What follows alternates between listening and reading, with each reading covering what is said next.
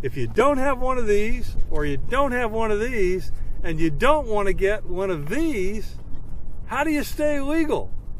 This week on Kayak Hack. Welcome back! If you're new to the channel, we cover kayak modifications, spin, and fly fishing. So poke that subscribe button so you don't miss anything. Now, let's get on with it. You never know when you're going to forget your measuring instrument, and if you're going to keep a fish, you got to make sure it's legal. So what I do is I just measured out on my rod what the legal limits were.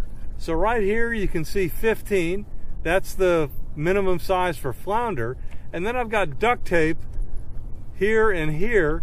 And this is 18, which is the lower end of the slot for redfish. And here's 27, the top end of the slot.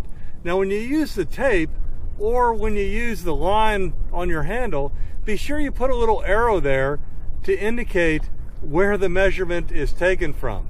So as you can see here, I'm measuring to this side of my duct tape.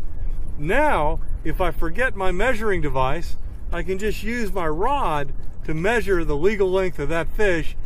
I used to use those sticky tapes on the side of my boat, but they didn't really work out too well. Another idea to stay legal, if you don't mind marking up your boat, is to just put the marks right on your boat using a Sharpie.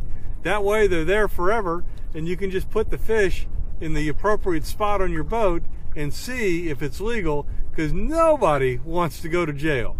If you've got a better way or another way to measure a fish without using a measuring instrument, please let us all know. We'd certainly love to hear from you. Stick it in the comments below. Take care.